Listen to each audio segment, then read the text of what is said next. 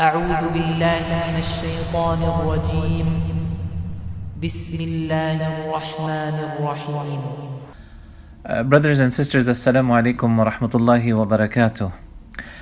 Uh, so here we are, brothers and sisters, confronting another situation of great proportions, uh, a life threatening situation, the coronavirus COVID 19 situation.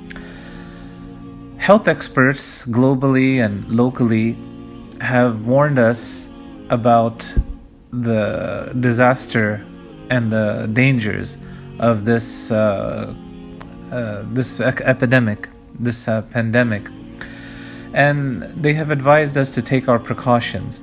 Of course, for us as Muslims, this is totally in line with the Quran, wherein Allah Subhanahu wa Taala tells us in Surah 4, Ayah 71. Ya الذين amanu khudu hidrakum. O you who have believed, take your precautions. Take your precautions. And for us as Muslims, the precautions are not only things that uh, we um, we do as far as uh, taking our physical precautions, but at the same time it involves other issues which Allah and His Messenger wasallam had ad- advised us to do such that we can avert any of these disasters uh, before they happen and when they happen and even after they happen.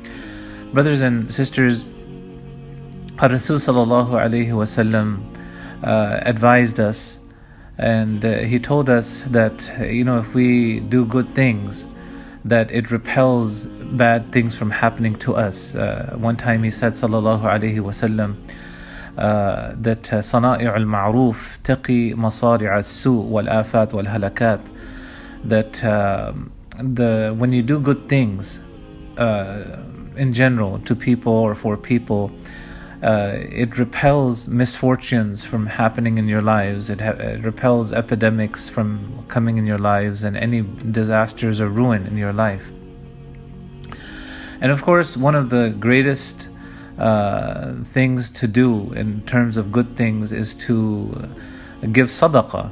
Uh, as uh, Rasul sallallahu alaihi wasallam he said, "Inna sadaqa tudfi'u ghadab al-Rabb." Uh, that uh, surely um, when you give in the way of Allah, it uh, extinguishes the anger of your Rabb, your Lord, your Rabb. And uh, وَتَدْفَعُ مِيتَةَ السُّوء and it also repels a bad end, a bad death. Brothers and sisters, um, there is an incident that happened some time ago wherein there's a young lady, she saw a dream. And in the dream, she saw that one of her male relatives was stung by a snake. And um, uh, the poison affected him so badly that he almost immediately died. So, in the morning, she went to her male relative and told him about this dream. And the male relative, uh, after he heard the dream, became very worried that uh, he could die at any time.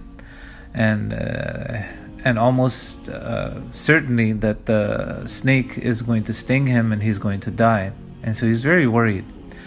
So he decided that, well, what I'll do later on today, I'll go and I'll um, slaughter two uh, lambs and I'll give them as sadaqah in the way of Allah, and Allah will protect me.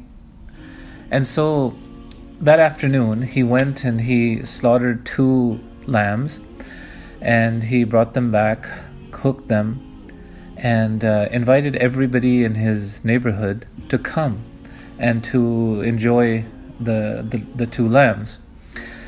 And as everybody came, he began, you know, giving them the dinner and and uh, had everybody eat. And he had so much meat left over that he also gave them little packets of meat to take home with them, all for free, all you know, as sadaqah. but he himself was so nervous and afraid and just very worried that he is going to get stung and, and today might be his final day. He's very worried about dying. So finally some of the relatives they said, "Look, you haven't eaten anything. Why don't you why don't you eat something?" And so after a lot of back and forth, uh, they, they finally convinced him that uh, to eat something. And so he grabbed this leg of lamb and he was about to eat it when he remembered that subhanallah there is a elderly lady down the street and I know she won't be able to come to this gathering. So he said, Oh, subhanAllah, uh, how, how could you? How could you forget her? And so he immediately got up, he took the leg of lamb, and he went down the street to give her the, the leg of lamb he knocked on the door and the lady was the elderly lady was very surprised and she was so happy so happy because she hadn't had food the entire day and she made dua for him and he left and so she ate that leg of lamb and what she did was she um, the remaining bone uh, she threw it out in the street in the alley well that night there was a snake that was looking for food and the snake um, came upon this bone, the bone, you know, from the leg of lamb. And so it began to gnaw away at the, you know, the remainder, the remnants of the meat that was left on the bone and, and the fat and so on. And eventually it began to swallow the bone. Well, the bone had a jagged edge to it and it was like a little, uh, little hook. And as it swallowed the, the bone, that jagged edge became stuck in its mouth. And it, it, it moved its head up and down trying to take it out, but it wouldn't come out. And gradually, as it was trying to take out the, the bone, it kept on moving and moving, and eventually, it ended up right at the doorstep of the person who had given the leg of lamb to the elderly lady.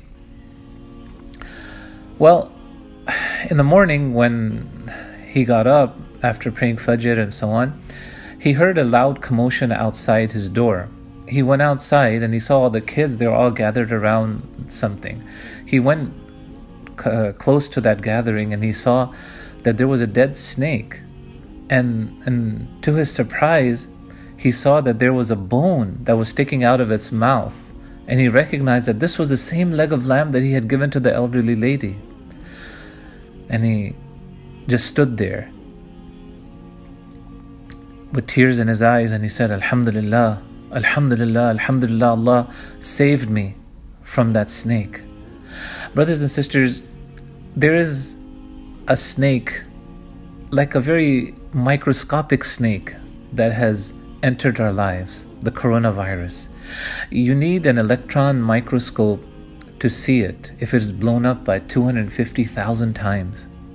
Subhanallah is just snuck up upon us, and so many of us are so afraid afraid of dying, afraid of getting sick, and afraid of this virus infecting us. But subhanallah, Allah subhanahu wa ta'ala has told us to take our precautions, and Prophet Muhammad told us clearly that look, if you do good things, you help out other people, you give sadaqah, that that repels any misfortune or any epidemic or any plague or any disaster from happening in your life. Brothers and sisters, Allah subhanahu wa ta'ala says, In tansurullah yansurkum. If you support the cause of Allah, if you help support the cause of Allah, Allah will support you. Allah will help you personally. And of course, Prophet Muhammad sallallahu alaihi wasallam, he said that إن الصدقة تطفئ غضب الرب وتدفع ميتة السوء. Surely, sadaqah extinguishes the anger of the Rabb and it repels any bad end, any bad death. صنائع المعروف تقي مصارع السوء والآفات والهلكات he said صلى الله عليه وسلم that when you do good things, you help out other people, you give sadaqah, you do other things, good things, that it protects you from any misfortune, more misfortune happening in your life, or any epidemic, or protects you from any, any plague or epidemic or sickness or illness. And it protects you also from total disaster, total ruin, total loss of in anything. So, brothers and sisters, support the Muslim Islamic causes in your community, whether it's a school, the masjid, social service, relief, whatever it is, support that. All these are projects that have helped our community tremendously, and in these hard times, we really need your help. And Allah subhanahu wa ta'ala will protect all of us. May Allah subhanahu wa ta'ala protect all of us from anything happening to any one of us and keep us strong to serve Him and to devote our lives to Him. Brothers and sisters, Jazakumullahu khairan for listening. Wassalamu alaikum wa rahmatullahi wa barakatuh.